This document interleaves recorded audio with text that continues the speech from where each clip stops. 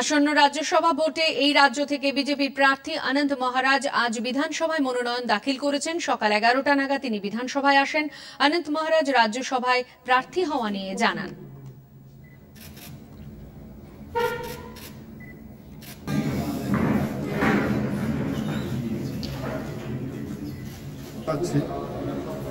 আমিও লাগে এবং পশ্চিমবঙ্গ থেকে রাজ্যসভা সদস্য হয়ে যাচ্ছি।